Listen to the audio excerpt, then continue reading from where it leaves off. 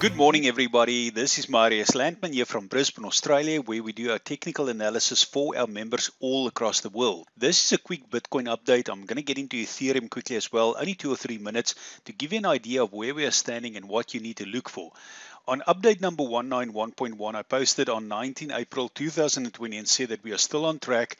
Give Bitcoin time to break out upwards and then keep your stop loss at 6,500, meaning that if Bitcoin were to break down to that level of 6500, we get out, you sell a percentage, and you buy the dip. In this chart that I posted, I also gave you this green line here, and I said that in this green line, we are going to have a drop here. In that drop, that is the buy zone. And I constantly say, don't look at the numbers, look at the pattern, look at the drop, because our mathematical equation works out what is going to happen in the market long before it happens. It's a remarkable system that can foresee kind of like looking in the future, what's going to happen with Bitcoin. Then we see this drop coming and then it's going to go up and then break out to 7899. That is still 100% intact. Now, what has happened here is that we knew that the oil price is going to drop below $9. Recall back about three weeks ago, I said that oil is going to go below $9, and nobody in the world thought that is even possible.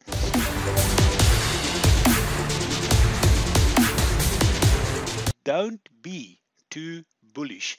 I've given you the plan, what I am going to do. It's up to you to take action. Thank you very much. This is Marius Landman. Have a fantastic day.